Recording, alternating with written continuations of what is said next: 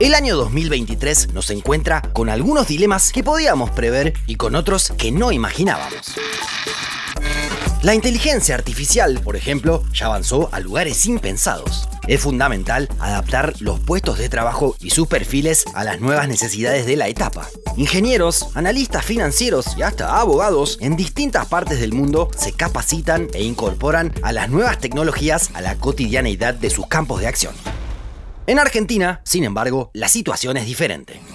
Desde hace una década no se crea empleo privado formal. Hoy en día, solo el 30% de la fuerza laboral ocupada tiene empleo formal privado. Esa cifra se mantiene estable desde 2016.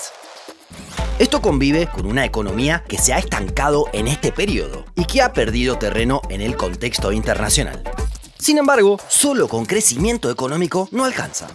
Hubo épocas en las que la Argentina creció, pero el empleo quedó estancado. Hay factores que hacen que las empresas que podrían demandar trabajo opten por no hacerlo y que los trabajadores no logren ser contratados. Por el lado de las empresas, el marco regulatorio laboral actual desincentiva la creación de empleo y alienta la falta de competitividad, junto a factores como multas, burocracia y convenios antiguos y rígidos. Por el lado de los trabajadores, es necesario que exista mayor capacitación, habitualidad en el empleo y reentrenamiento ante el cambio tecnológico. Pero otros problemas son más nuevos. A pesar de que la ocupación se recuperó en el último tiempo, esto no resuelve la ecuación para los trabajadores. La situación contradice cualquier manual de economía.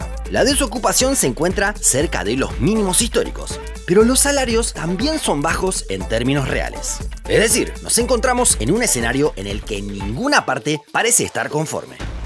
Por eso, desde el sector empresario creemos que debe cambiar.